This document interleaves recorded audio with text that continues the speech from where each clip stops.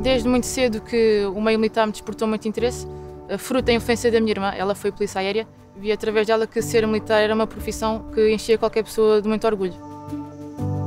O facto de mostrar interesse pela cinotecnia é, é, como é óbvio, por gostar de cães e por achar incrível ter a oportunidade de trabalhar com estes seres incríveis que considero os nossos melhores amigos diariamente. O papel do militar aqui do modo sinotécnico baseia-se, em forma geral, em treinar e melhorar diariamente a sua relação com o cão, de forma a que ambos estejam aptos a atuar em situações reais.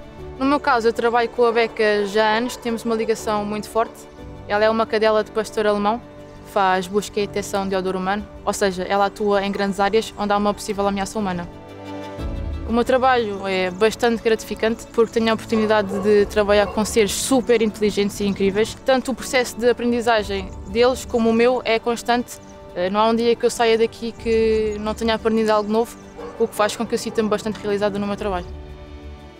Para sermos bem-sucedidos aqui é preciso ter camaradagem, ser responsável, eh, ter aprumo, gostar de fazer as coisas por excelência, principalmente aqui na Polícia do Exército, em que temos que dar o exemplo.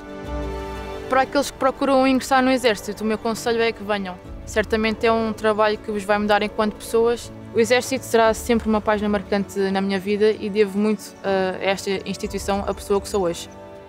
Não é, Becas? O meu futuro passa pelo Exército, constrói o teu em exército.pt.